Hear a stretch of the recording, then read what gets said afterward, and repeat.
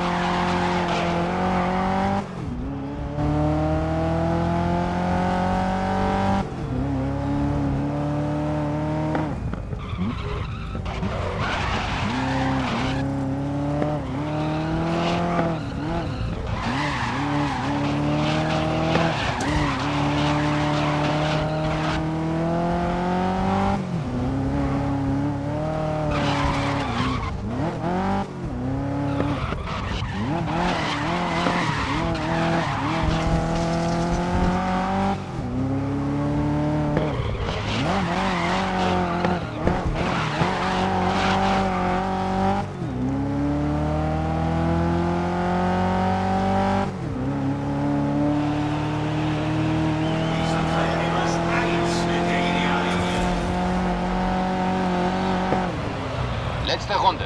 Versucht ihr die Pole zu schnappen.